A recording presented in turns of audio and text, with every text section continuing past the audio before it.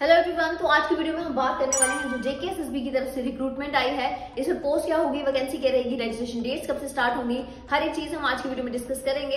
तो चलिए video start करते हैं। पोस्ट है इसमें टीचर की, जिसमें प्राइमरी भी है और प्राइमरी टीचर्स के लिए plus TGT graduate train graduate teachers के लिए भी इसमें पोस्ट है। और वैकेंसीज जो लेटेस्ट अभी अनाउंस हुई है, वो है 5500 प्लस रजिस्ट्रेशन डेट्स की अगर हम बात करें तो मुझे बहुत से मैसेजेस आते हैं कि टीचर की रिक्रूटमेंट कब आएगी। तो जैसे कि आपको पता है स्पेशल एजुकेटर्स की पोस्ट जो है वो आ चुकी है।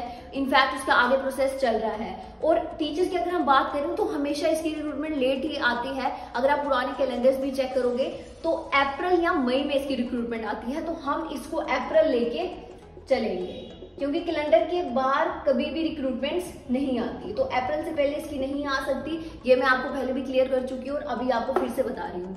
क्वालिफिकेशन की अगर हम बात करें तो उसमें बैचलर्स डिग्री चाहिए बीएड वाले भी अप्लाई कर सकेंगे।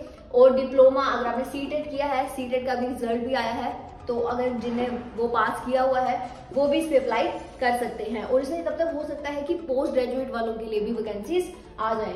एज लिमिट की अगर हम बात करें तो 18 इयर्स है मिनिमम और मैक्सिमम है 40 इयर्स सिलेक्शन प्रोसेस इसमें सीबीटी रहेगा और मैं इसका एप्लीकेशन फॉर्म का आपको फ़ीस भी बता देती हूँ।